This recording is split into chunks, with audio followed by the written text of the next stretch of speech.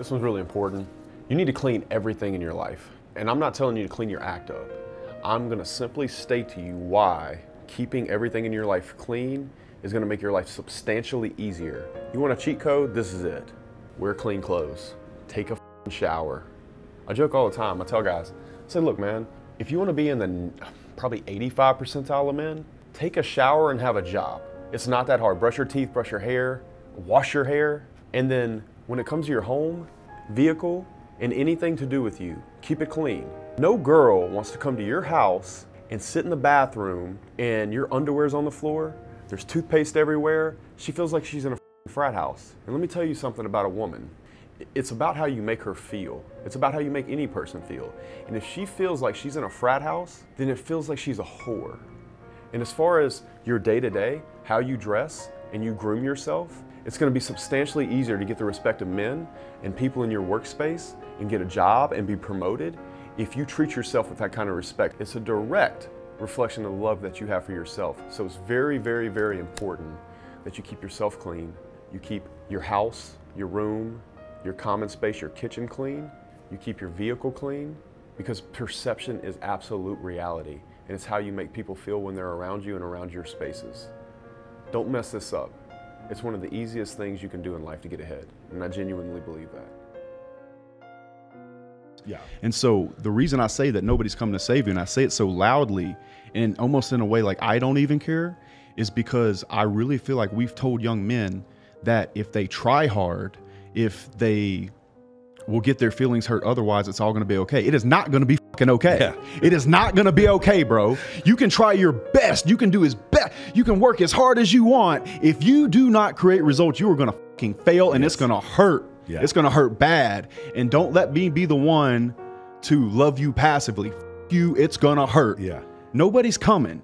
So uh, I'm a big believer in the best day of your life is the day where you can really accept and realize that and smile because you know you want the ball in your court. Yes.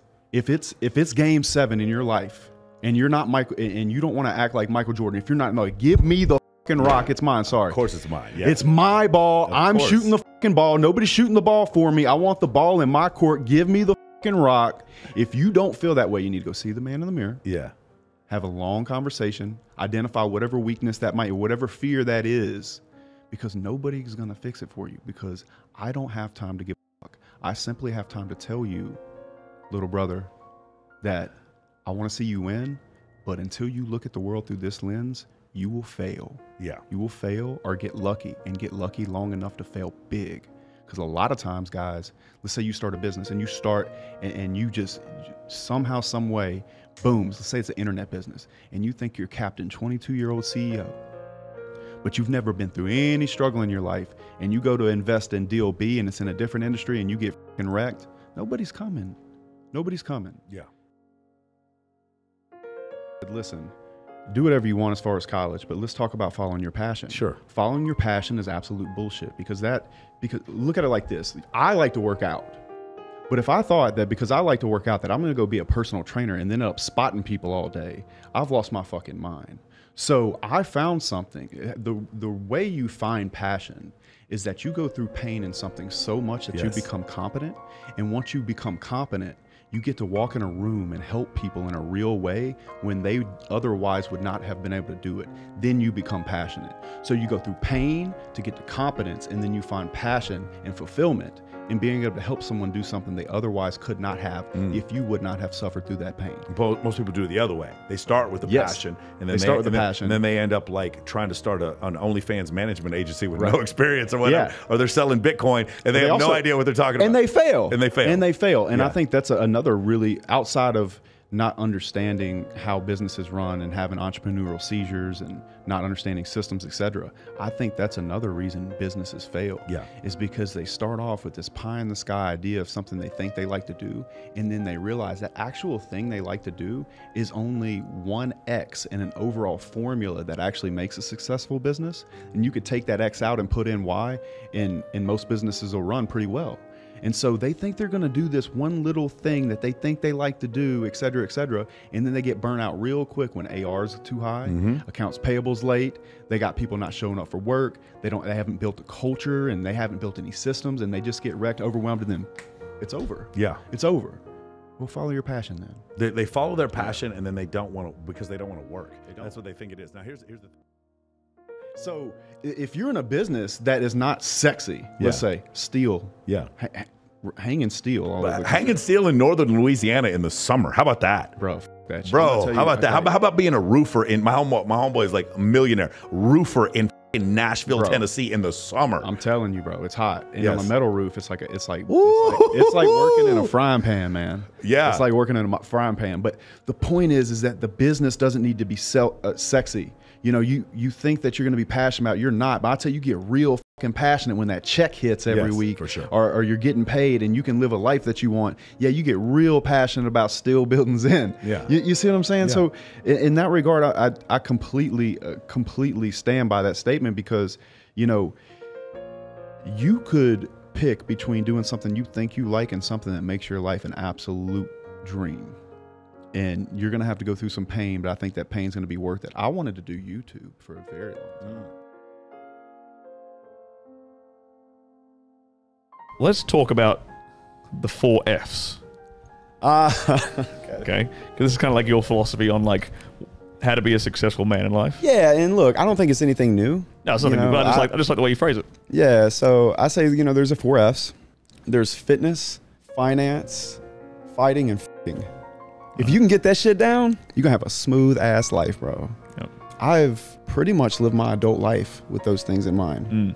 I feel like it, it could be argued when it comes to the fighting, but I think fitness is first. Right. I think that actual fighting is very primal. Explosive strength matters. Uh, athletic, yeah, athletic, you know, things like that. Mm. But I do think fitness first, mm. and then it's then it's kind of you know how you want to deal with those last three because mm. the first one with fitness goes into all of them. I think they're very close but you know like the ma- discipline from fitness allows you to have discipline in everything else. and, and everything else because you have to go through physical pain. Yeah. I'd probably go you know you could say fighting finance but i could see you switching that out and making a great point for any. I mean, I, switch, I, I, I switch that up. I would put fighting last just because if you have all those other things in order, your your game. And because when I say I mean, of course, literally, but also like, you know, in general, just your overall experience and your interaction with women in general. I think it, it's right. very important. So if you have those other things in line, those uh, the last one becomes substantially easier. It's just the middle two that I that you know. Mm. I think you could make an argument fighting in body language, mm. like having body language when you know how to you know protect yourself. Yep. You know, so you're not small. Um, but also, I think finance can handle a lot of things as well. So um, yeah, guys like will carry them like a guy who has like a lot of money in the bank carries himself a certain way, and absolutely. so does a guy who can beat the crap out of you. Right. He also carries himself a certain way. You know, I, I think that both of them are kind of lopsided though, mm. because I've met fighters, and a lot of times that's where the f- true fighters are. Mm. And a lot of times, the fight, all the fighters I've known, they're generally really, really, really broke. And then I say this a lot is I absolutely would not trade places with Zuck. Yeah. You know, I, you can be as rich as you want. If you're a fucking dork, yeah, it's worthless. You know, so because those are things you can work on. If you're fat or if you're a dork or whatever it is, like mm-hmm. it's not like you are resigned to that fate. That's the consequence of a lifetime's worth of actions or inaction, right. more importantly, and not working on different areas of your life. You have the choice to be amazing. You absolutely have a choice. Yeah. Uh, your value can actually be built. Dude, one of the best compliments I've ever gotten is a girl told me recently. She goes, two things. As a, as a man, I think you get better looking every year. Mm. And as a man, I think you become a better man every year. Yeah. And that's absolutely an option for any man. If you are working on yourself. Right. If you're not, yeah. then you then it goes the complete opposite way. And that comes down to the voices in your head, man. Mm. I always say that every person, but every man has two voices. He's got a bitch voice and a grown ass man voice. Yeah. And the more that grown ass man voice can say, shut the fuck up, go to the gym anyway, mm. do it anyway, the smaller that voice gets, almost to the point where it drowns him out. Mm. To me, I really think about it in that way. It's like I got these two conflicting voices, but my spirit, who I am as a man, is actually that that strong voice, and I'm I'm about to beat that other part of me into submission. Yep. And, and that's how I look at it, man. And, and it's got to be that way because if it's not, you start letting shit slide. And I don't think discipline is actually a straight line, but I do think it's more of a here's the line, and here's how far I'm willing to get away from it. You know what I'm saying? And if you can't if you can't have that conversation with yourself and you don't trust yourself to do it, mm. you are in trouble. You are. Unless you're superhuman, I think all of us have things that happen like big thoughts. Yeah. You know, and it doesn't make you a bitch. It makes you a bitch if you ignore the voice that's telling you what you should do.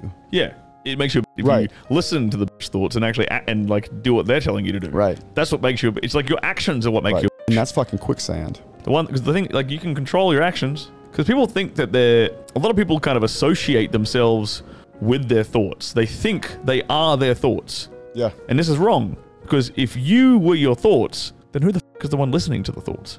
Right. You're the one listening to the goddamn thoughts. Right.